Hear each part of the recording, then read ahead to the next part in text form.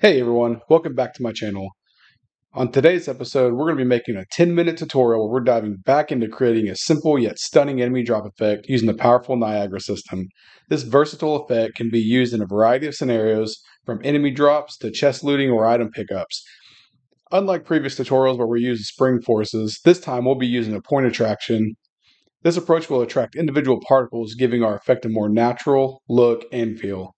The best part of this is it's highly customizable. It allows you to tailor it to the unique needs of your individual project. If you're interested in getting your hands on the project files for this tutorial and many others, remember they're available for download on my Patreon. Your support there helps me continue making these tutorials. Remember to hit the like button if you find this tutorial useful and subscribe so you don't miss out on future episodes. So let's go ahead and get started. Uh, let's right click, add a Niagara system. I'm going to do an empty and just going to name this drop effects. Let's go ahead and open that up.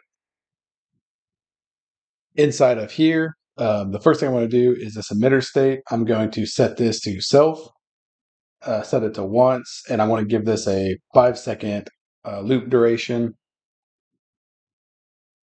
Let's add a spawn burst here, and I'm going to set this to 50, but that uh, will be whatever, however many you want to spawn on yours. In the initialized particle, I'm going to do a direct set, and I want these particles to lay on the ground for a while, so I'm going to do 20 seconds. For the color mode, I'm going to do a direct set. I want these to be uh, zero, something like this, just to get this like blue color. For the sprite size mode, I'm going to do a, a uh, uniform and make it five. The next thing I want to do is do an add velocity. Make sure you fix your issues. Uh, for the velocity, I'm going to do a random range vector. And I want these um, to go from negative 100 to negative 100. And for the z, I want it to only move up. So I'm going to do 300 here and then 100, 100, and I want to do like 550 here just to get that nice explosion look. In the particle update, let's add a, a scale sprite size. I want this to do this uh, drop off here. Let's do a drag, and I'm just going to leave that at one for now. I want to do a gravity force to bring these back down. I don't want it to be Earth gravity, so I'm going to do negative 500 instead. Make it uh, fall a little slower. Let's add a curl noise. And I want to jump this to maybe like 200. Um, I want these to just lay on the ground without falling through, so I'm going to add a collision.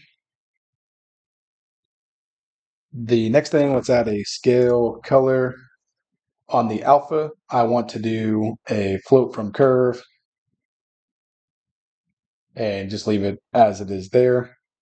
The next thing I want to do is add our uh, point attraction force. This point attraction force, I'm going to set to 200, 200, and 0.7. For the attractor position, this is what I'm going to set to my actor location. So I need to do a new or a user parameter. And I want to rename this to actor location. And then that's good there. Let's go ahead. I also want these to die off whenever they um, come into a contact with our uh, player. So I'm going to do a kill particles and volume, set the radius to something like 60, uh, for the volume origin, I'm going to change this to convert position to vector. And then in the um, input position, we're going to drag our actor location into that. And then we'll set that actor location inside of our um, blueprint for this effect. Let's rename this emitter to orb. I'm going to right click, add a new emitter for the tail.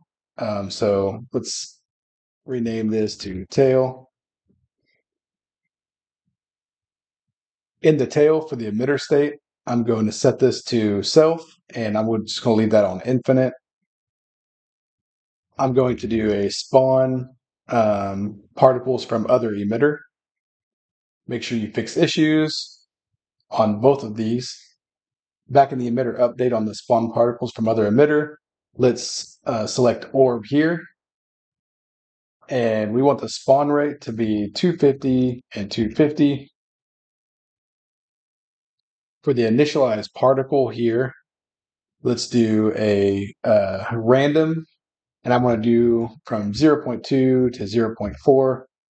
For color mode, I'm going to do a direct set. I'm going to do the same ratio as the other one, but um, lower. So instead of 130, I'm going to do 13 and 50, so it's not as bright. For the random size or the sprite size mode, let's do uh, random uniform, and I want to do from 2 to 10. Um, in the particle update, let's do a scale sprite size. For the scale sprite size, I want the linear ramp down, but I'm going to right click about in the middle and add a key. And I'm actually going to um, make this fade even quicker here. So moving that right there. Let's do a drag here.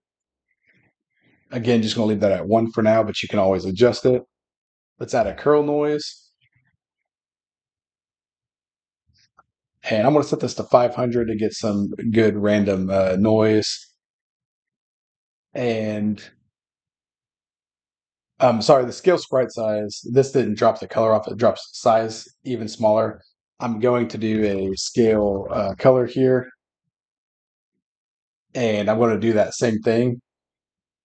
So float from curve, let's add a key here and just make it fade even quicker. On my scale sprite size, I don't want to do this, so um, let's see if I can delete that key.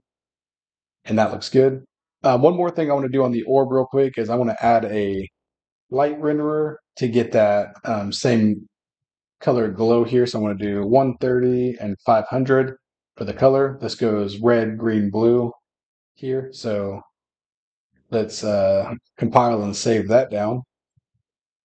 I know that I kind of sped through that uh, for the sake of trying to keep this under 10 minutes, and I didn't compile or anything, so we weren't able to really see our um, spawns there.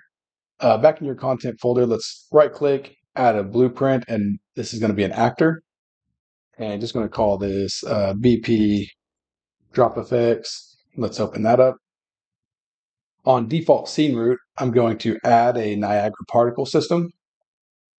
And then with that highlighted over in the details panel, let's um, add that system in here to the asset. I'm going to leave auto activate on. In the event graph, um, the way I'm to display this is doing a set timer by function name. Let's loop it do every five seconds. And the function name is going to be, let's do a custom event here. And I want to name this spawn. And then make sure you type spawn or whatever you use there. Inside the spawn, I'm going to grab my Niagara system, uh, pull it out, and then I'm just going to say set active connect that up, and I'm just going to click uh, both of these, check both of these, new, active, and reset. So every five seconds, it'll spawn a new uh, system. I'm going to do an event tick here. And this is where I'm going to set that actor's location. So I'm going to grab this Niagara system again, and I'm going to say set Niagara um, variable, and I want to get the uh, vector 3 option here. Let's connect that. This uh, variable name here is this variable name, so actor location. And you can uh, copy that display name and paste it in, or you can just come over and type it in. And then off this, I need to get our player's uh, location. So I'm going to say get player character. Off of this, I'm going to say get world location and I want it of the mesh. And I know that this is this mesh um, it's going to be at the very bottom of the mesh, this world location. So I'm going to do an offset here. I'm going to say add, and I want to offset this by 100 in the z direction, which should be about half of our uh, character's height. Uh, we may need to adjust it.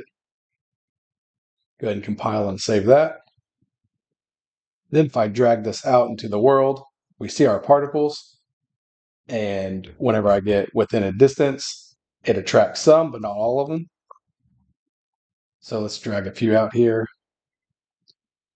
Again, this is highly customizable. Um, change it however you want. Maybe you don't want it to spawn randomly, but you can have it drop and uh, activate that effect uh, when something breaks or an enemy dies or all kinds of ways to use this. So that's going to do it for this quick 10 minute tutorial. If you learned anything from this or enjoyed the video, please subscribe and like the video. Make sure you turn on notification bell so you don't miss out on any future episodes. As always, happy developing, and I'll see you in the next one.